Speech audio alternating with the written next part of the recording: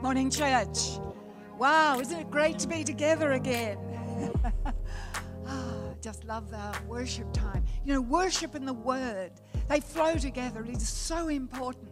It's, uh, it's just a really important part of the congregation time together to be in worship and flow on into the word. Just love it. Well, I believe that uh, we're in a really exciting time. We've had a conference, haven't we? Beautiful conference. Uh, uh, Saturday night, where the girls had a great time. Friday night, the guys had a great time. Sunday morning, it was awesome. Words kept flowing. So, uh, you know, one of the things that I'll speak for the, the guys that weren't there on Saturday night a beautiful, beautiful word from Melissa. And she said that we need to have unrestrained boldness. How awesome is that? But that's for all of us. God is saying it's time for us to pick it up, you know, start moving. He wants us in a new place with strength, with confidence, and with boldness. And I believe that He is really starting to move in our hearts and lives through all the words that we've been receiving over the weeks and months, just really encouraging us to, to really put us in a place so that we know who we are in Christ. We know who we are in Christ. And there's a strength with that. There's a strength with that that nothing, nothing can stop us when we move in it. So we're in this place right now where I believe the life of Jesus Christ and the light of Jesus Christ and the love of Jesus Christ is settled within us. And when we start to take hold of this and move in this authority, we're just going to see the mountains move. The mountains are going to be moved. The difficulties and the dark places and the hard places are going to be moved. We have victory when we move in this way because God is able. God is able to move in our lives in a new way. I really believe that for us, we need to know that peace is where He is taking us. And, and of course, peace usually means an absence of conflict or war. But the Hebrew word for peace, shalom, has such a deep and strong meaning. So it's the peace from God and it means so much more than just absence of stress or sitting in a quiet place looking at the sea. Beautiful to do. But this is what shalom, peace, means wholeness, completeness, health, safety, prosperity, and these blessings are permanent. And so when we greet each other with shalom, these are the words that we're speaking over each other. And we know that Jehovah Shalom is the name of God. So we are meant to be at peace within, and this completeness and protection in the Lord is shalom. Ephesians 1 3 to 4. What a beautiful scripture this is. So many blessings come from Ephesians. I love reading it. And this one says every spiritual blessing in the heavenly realm has already been lavished upon us as a love gift from our wonderful heavenly Father, the Father of our Lord Jesus Christ, all because he sees us wrapped into Christ. This is why we celebrate him with all our heart. And he chose us to be his very own joining us to himself even before he laid the foundation of the universe. Because of his great love, he ordained us so that we would be seen as holy in his eyes and with unstained innocence. The life of Jesus Christ, the light of Jesus Christ, and the love of Jesus Christ is in us. When He is our Lord and Master, we've been singing the most beautiful songs about Jesus, about the name of Jesus. And this is who He is. And when He is within us, this is who we are walking in this strength that He has for us. Our life is to be the Word. Our life is to be the Word that when we see others, when we speak to others, This is what is transferred from us to them. You know, hands are very important. Hands are very important. And when we're filled with the love of Jesus Christ, when we're filled with the light, His life, and we shake somebody's hand, we touch somebody on the shoulder, we are transferring this great blessing, this shalom, shalom, shalom blessing into their lives. And so he has marked us with his love, and we have a life in Jesus Christ that is so deep and so powerful. Amen. Romans 8:16 For the Holy Spirit makes God's fatherhood real to us as he whispers into our innermost being you are God's beloved child. And when we read the word Holy Spirit, it's referring to the power, the glory that is Holy Spirit. But when we read the Holy Spirit, we're talking about the person. How powerful is that? So we have the power of the Holy Spirit that we move in and we have the person of the Holy Spirit within us. In Ephesians 1 17 to 18, I pray that the Father of glory, the God of our Lord Jesus Christ, would impart to you the riches of the spirit of wisdom and the spirit of revelation, to know him through your deepening intimacy with him. I pray that the light of God will illuminate your eyes of your imagination flooding you with light until you experience the full revelation of the hope of his calling that he finds in us, his Holy One. The Apostle Paul always looked ahead. He was always looking to see what was up ahead with such joy and such excitement and not behind. And that's a word for us at this time because He's giving us the opportunity to be strengthened in such a way when we come into this understanding of who we are in Christ, being filled with the power that is the Holy Spirit, that He has so much more for us than we can think or imagine. And we have to be given, we've been given this life of Jesus Christ, and we've been given the light of the Holy Spirit, and we've been given the love of God that passes all understanding. You know, the creativity that is within you, you have received directly from the throne room. Does that sound strange? I just love it when uh, we know that so many people are, are so creative musicians, artists, and all these sort of amazing people that do incredible things that I've met in this wonderful town. And you know, every person who operates in this area of being really creative is hearing directly from God. Definitely hearing from God. So as we listen to the Holy Spirit, as the scripture has said, we're hearing wisdom, we're hearing revelation that takes us through any situation that we're going to face.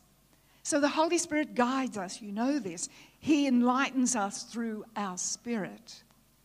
Jesus Christ is life, and this life is the light within us. John 8 12 says, I am the light of the world. Whoever follows me will never walk in darkness, but will have the light of life. And the light of Jesus Christ shines from you. You are the temple of the Holy Spirit.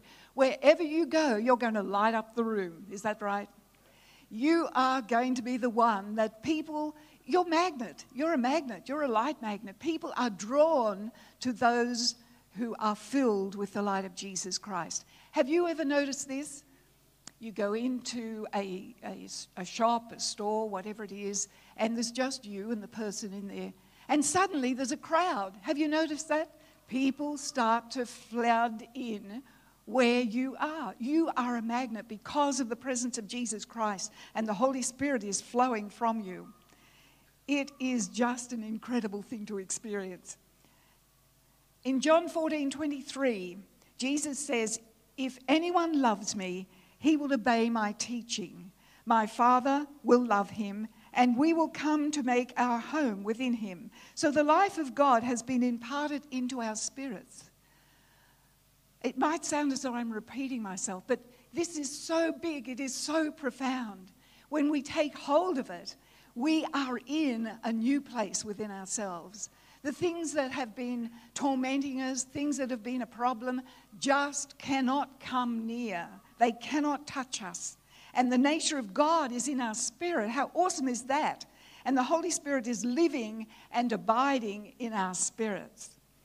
In Isaiah 11 2, this is what the word says The Spirit of the Lord rests on him, referring to Jesus.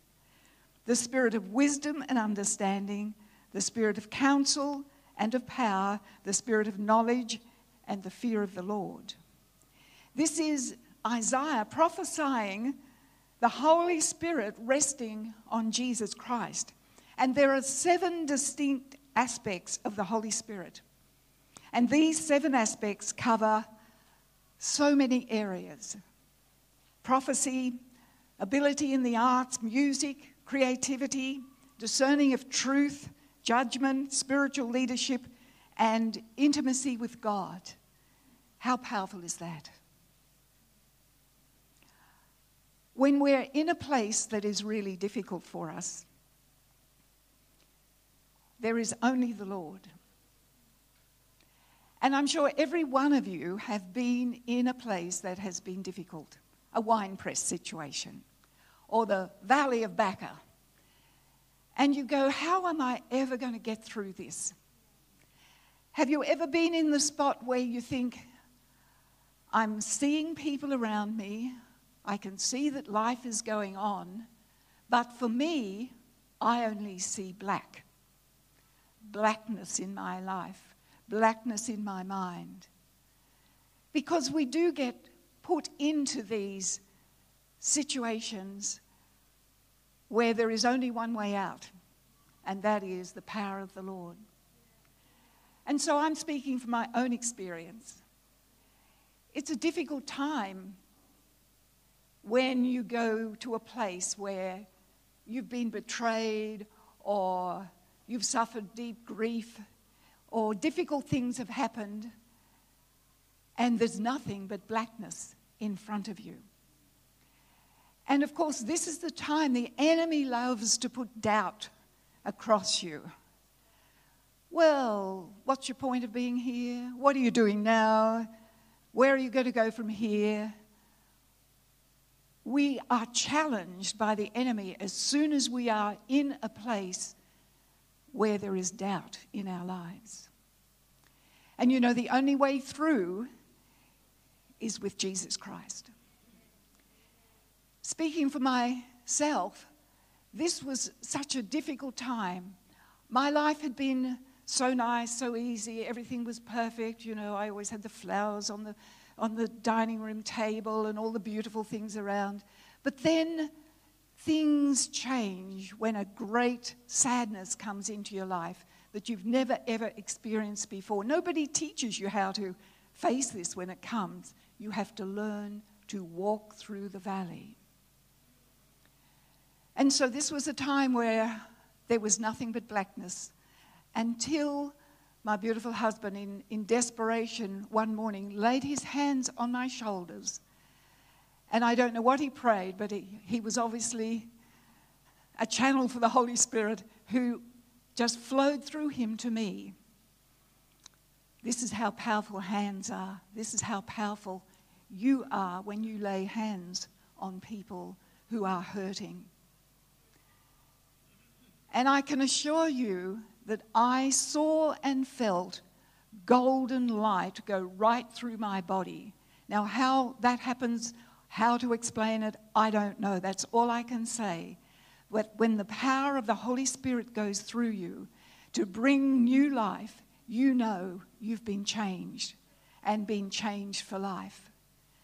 You know, sometimes, sometimes we, we just see people as all together. You know, nothing ever looks to go wrong in their life. They're always together, they're always happy. The children are all clean and smiling, and yours aren't. And, you know, all those sort of things. But it's interesting how God takes us through these times where He draws us closer to Him like never before. And it's really cold, cold face time, isn't it? You've hit the wall. It's cold face time. But in that, we see right through the Bible, the Lord has taken all these amazing people through these times out the other side. They are stronger, more confident. And what happens? They end up being mighty warriors for the Lord. Mighty warriors for the Lord. I do believe that we have a church full of mighty warriors. You've come through so many things, so many things. You've moved to Geraldton from all over this nation, just as we have. And when I ask people, when did you come to Geraldton and why did you come to Geraldton? It's always, well, I just felt the call of the Lord. I just felt I should be here. I just needed whatever it is. Could be family, could be all sorts of things. But God calls people to this city for a purpose. I'm convinced of that and He is shaping us, and He is molding us, and He is knocking the spots off us, but He, has, he is getting us ready as a mighty, mighty army, warriors who will not turn back, who will not be defeated, who will be victorious as they go forward, and take others with them. And take others with them. Oh, the Lord is just so mighty, so mighty. But I just want to go back to this area of uh, when there's jealousy or betrayal or grief or whatever it is that happened in your life. The interesting thing is that this usually comes at you, hits you from someone who's close to you. Someone who's close to you. And of course, this is where the enemy loves to come in with doubt. And we see that if we entertain the doubt, we've opened a door. And once that door is open, then it comes in. It's a spiral down. It's a spiral down. And you know, we have such an important ministry, each one of us, wherever we go, to just encourage others to put out that hand that has the power of the Holy Spirit in on somebody's shoulder and see them light up because the light that's in you transfers to them. Amen? How good is that? And Jesus, of course, was challenged by the devil when he was taken into the desert by the Holy Spirit. And with the words, this is what the devil said If you are the Son of God, doubt. There it is, doubt.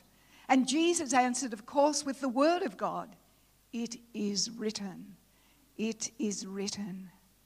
And of course, we can uh, look at Genesis uh, 37 and we see that Joseph, Joseph was called to be a ruler and a deliverer of the people through two prophetic dreams he was given as a 17 year old.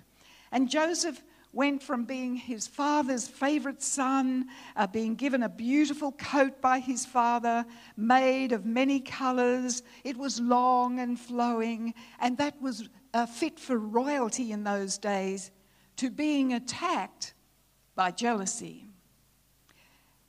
Proverbs 27 4 says, and I don't have the scripture up for this, so you might like to note it down. Proverbs 27, verse 4. Wrath is cruel and anger is torrent, but who is able to stand before jealousy? Jealousy is very powerful. Joseph had uh, his brothers so jealous of him uh, because he shared the dreams that the Lord had given him. They wanted to kill him. Instead, he was sold off to travelers and much later, he was used by God to save his family and the nation. Joseph was attacked because he dared to share the dreams from the Lord and was clothed in a cloak or a mantle that displayed that he was greatly loved. And each one of you wears a beautiful mantle, a beautiful cloak that the Lord has put upon you in the spirit realm and you wear that, and you are seen, and you are dangerous to those that are not of God in the spirit realm. So wear it with pride. In Mark 10, we, uh, we hear about Bartimaeus, blind Bartimaeus, as we know him, wearing a very dusty and dirty cloak, and he was sitting by the road, roadside. And, uh, you know, sometimes that can be us, that we just sit down, give up, and the dust of the day, the dust of the people, the dust of other people's words settle upon us. Hurts, rejection, betrayal, betrayal by those we trusted, always someone who was close. And wearing this heavy cloak that is everything of the past. How easy it is to get into that old cloak of the past and go, Woe me, oh me, I missed. Look what they did, look what they said. But you know, even when the Apostle Paul was in jail facing death, he looked forward. He was excited for the future. He didn't want to sit there and look at the past. And so the Lord is saying, Look, cut it off. We have such power when we speak out forgiveness over those who have hurt us. We have such authority. They may never hear us speak that forgiveness, or if we speak it to them face to face, it may mean nothing. But you have spoken something that is so profound into the heavens that the Lord now hears you, and there is a disconnect in, in the spirit realm. So there's forgiveness. And from that, we need to surrender. We say, Lord, take it all, take me all. I'm emptied. Fill me up, Lord. We need to surrender. And then we need to be able to give thanks. Thanksgiving is so powerful. We enter the gates with thanksgiving and his courts with praise. How powerful is that word? we enter the gates with thanksgiving. You know, when we speak out thanksgiving, and we hear it a lot in our prayer meeting, we do it a lot ourselves. We give thanks. It's part of our, our way of life, isn't it? We thank you for this and we thank you for that. But giving thanks to the Lord means His grace immediately flows over us. His grace, the grace of the Lord God Almighty, flows over us when we move in a place of thanksgiving.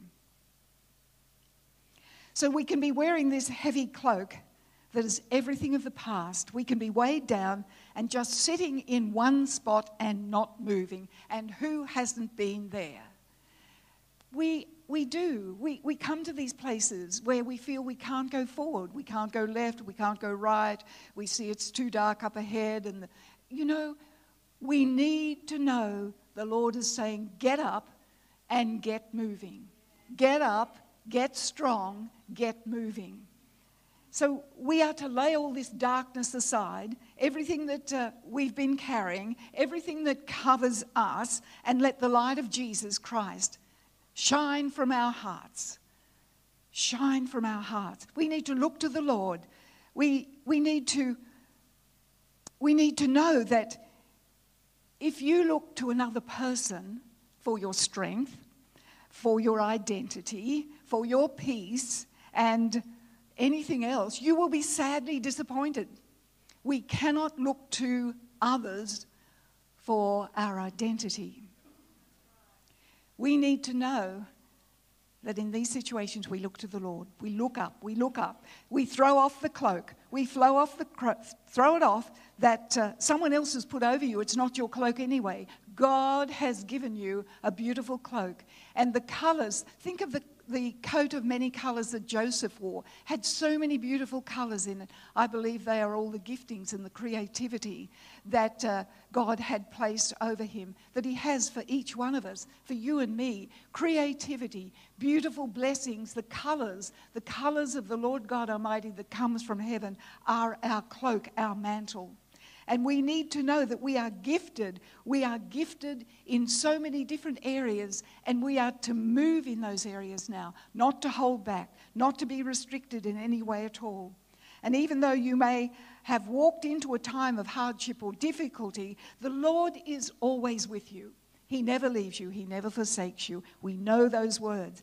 But when you uh, turn to the right or the left, He's going to be there. This is not a case where you're sitting still and nothing's happening. He is going to be there. You will listen to His voice and hear that He will say, This is the way, walk ye in it. So we need to listen to the Lord. We need to take time. We need to be strengthened. We need to be wait to be renewed. We need to wait on the Lord and rise up on wings of eagles. Eagles don't stay in the storm. Eagles rise above the storm. They fly over the top into a safe place. So God is able to take you higher in Him. And in victory, He will take you higher. The chains are broken. Jesus has done that. There is unstoppable boldness that He has for every one of us. We are to be his warriors in this day. God cares for us. In Psalm 55, verse 22, the word says, Cast your cares or your burdens on the Lord, and he will sustain you. You will never, he will never let the righteous fall. So the enemy wants us to think about our problems continually. He wants to keep you occupied trying to work everything out yourself. So if we start to carry our burdens, difficulties do come. How often have we said, well, that's too, that's too simple or too not really important enough for God to work out? You know, I've learned, as a lot of you have learned, I'm sure, that when you hand something to the Lord, you put it in His hands and you say, Lord, I'm not going to touch it anymore, you see Him move quickly in your life. But of course, if we go back, pick the things up, try and work it through ourselves, then we know that He stands aside and lets us do what we think we can do better. Because we have to know God is able. He's able to take everything we hand over to Him and bring you through to a place of peace. Shalom, peace. And we're meant to be victorious in life unrestrained boldness. Betrayal is a breaking of trust, we know that. And Jesus knew the pain of being betrayed firsthand. Judas betrayed Jesus for 30 pieces of silver. Jesus didn't become bitter or angry or vindictive, it was just the opposite. After Judas kissed Jesus on the cheek and betrayed him into the hands of the Jewish religious leaders, Jesus called Judas a disciple, and a friend. When it happens to us and we feel betrayed, we're to call out to Jesus. We're to go to the Lord in prayer and give it to Him, then forgive. Forgiveness brings release, and God's love is unconditional. Jude 124 says, "To him who is able to keep you from falling so we have life, we have light, we have love, all in Jesus Christ. And Jesus is in you. But if you have not invited Jesus Christ into your life, I'm really encouraging you to pray this prayer, and we'll pray it together.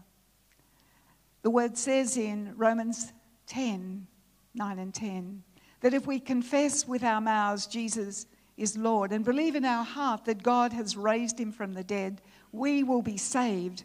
For with the heart one believes unto righteousness, and with the mouth confession is made unto salvation. And Romans 10:13 says, "For whoever calls on the name of the Lord shall be saved. By his grace, God has already done everything to provide salvation." Your part is simply to believe and receive. So let's pray it out loud. Jesus, I confess that you are my Lord and Savior. I believe in my heart that God raised you from the dead. And by faith in your word, I receive salvation now. Thank you for saving me. Amen. Now, if you prayed that prayer for the first time, I'd love to speak with you after the service. I'm going to finish now. I just believe the Lord uh, has such a beautiful word in the Song of Songs that He wants to wash over you, to have you immersed in it, to have you soak in it, to let you know He loves you so much, so much that He gave His life for you. And this is what the word says Fasten me upon your heart as a seal of fire forevermore. This living, consuming flame will seal you as my prisoner of love. My passion is stronger than the chains of death and the grave, all consuming as the very flashes of fire from the burning heart of God. Place this fierce, unrelenting fire over your entire being. Rivers of pain and persecution will never extinguish this flame. Endless floods will be unable to quench this raging fire that burns within you. Everything will co- be consumed. It will be it will stop at nothing as you yield everything to this furious fire until it won't even seem to you like a sanct.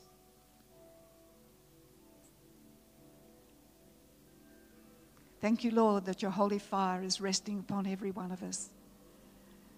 Thank you, Lord, for your presence, that you are filling us to overflowing for the days ahead. You are calling out the warriors. You are calling out the preachers. You are calling out those that will minister your word. You are calling out those who've been hidden, who've been held back by circumstances, but not by you. Lord, you're saying, This is the time. I want my children to arise. I want my children to break forth. I want my children to be a voice that is so strong that it cannot be stopped. His presence is upon each one of us. He is filling our hearts with a burning fire, a fire of love that cannot be put out. We thank you, Lord God, that your presence upon each one of us is renewing us and strengthening us and causing any chains to be broken, causing anything that has been a blockage, causing anything that has been a mantle or a covering or a cloak that has just been of the past to fall to the ground. That every one of us being set free in the power of your presence, Lord. We thank you for that. We thank you that you're touching us, Lord, bringing us into divine order in you mind, body, soul, and spirit. Thank you, Lord. We are spirit, soul, and body in you. In Jesus' name. And everyone said, Amen. Praise God.